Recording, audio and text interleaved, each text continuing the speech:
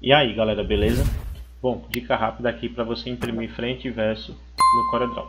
Você cria seu arquivo com as marcas de corte, duplica e centraliza ele aqui no, na folha. O que, o que foi que eu fiz?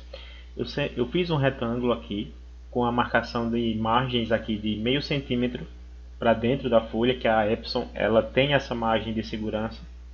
Então é isso aqui que eu vou trabalhar. Então Fiz a, a primeira arte está aqui. Tá? O que é que eu vou fazer? Vou selecionar tudo o botão direito do mouse, copiar. Volto aqui na página 2 e na página 2 eu vou apenas apertar Ctrl V. Eu colei. Vou clicar fora tá? e vou selecionar somente as imagens. O retângulo não mexo. Com elas selecionadas, eu vou aqui na opção espelhar horizontalmente. Tá? Cliquei fora.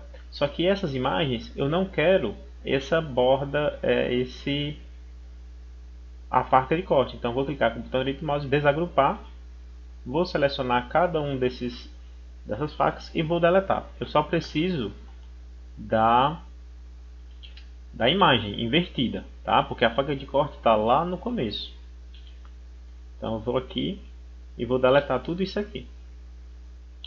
Cuidado para você não tirar ela de centro, tá bom? Então vamos lá. Página 1. Criei a arte com a faca de corte, feito o retângulo. Página 2. Eu colo a imagem e espelho ela, né? Eu seleciono tudo e vou em espelhar horizontalmente. Pronto, espelhei. Vou colocar para impressão a página 1. Arquivo, imprimir. Deixo aqui página atual. Tá com a marca de corte aqui né, que é só para você visualizar, e vou clicar em imprimir. Ele vai fazer a impressão para mim. Pronto, imprimi aqui a primeira folha. O que é que eu faço? Clico na página 2, a imagem está espelhada, tá? Vou pegar a minha folha, como a minha Epson ela sai, ela imprime na folha, na parte da frente da folha, eu vou pegar ela e vou virar ela aqui no contrário, né? Parte de trás ela vai fazer impressão na parte de trás da folha. Tá certo? Então nessa parte você tem que saber qual é o lado da sua impressora, como é que ela imprime.